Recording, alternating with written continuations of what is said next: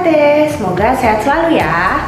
So, today we're gonna share you authentic pasta carbonara recipe. Yay!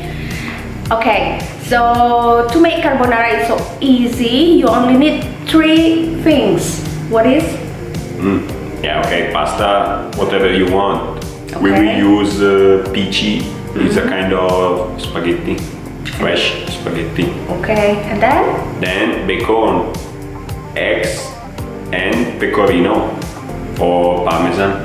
Ah, okay. So actually you can use any kind of pasta and if you don't have bacon or you want to make the halal version, you can use smoked beef, right? Yeah. And also if you want to make the vegetarian version, you can change the beef to Mm, asparagine. okay. And it's so important that you don't use panna, milk, cream cheese or anything to the carbonara. Not at all.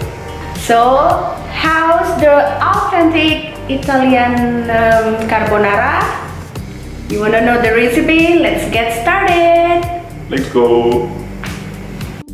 Langsung kita mulai aja, pokoknya resep ini bebas drama banget. Kalian cukup rebus air dan siapkan pasta yang kalian mau masak.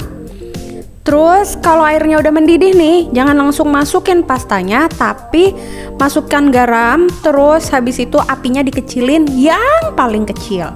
Kenapa? Karena kita mau masak daging baconnya dulu. Kalau kalian nggak ada bacon bisa pakai smoked beef atau bisa juga pakai asparagus kalau mau yang vegetarian.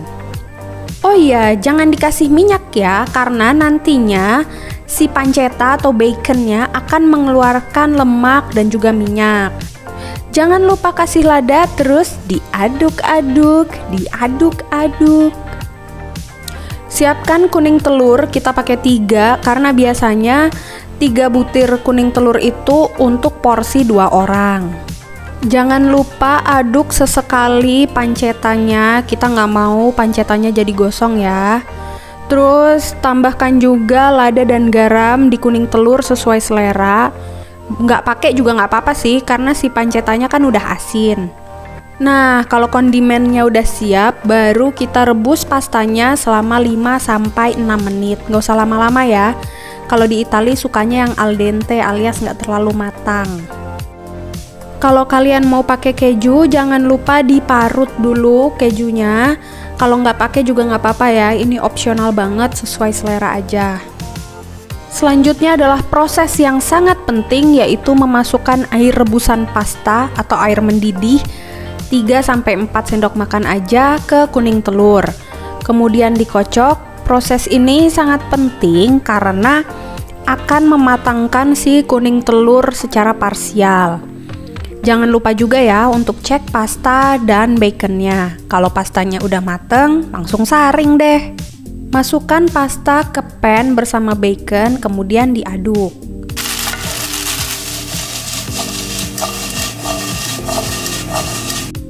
Biarinlah ya luka agak-agak gaya sedikit.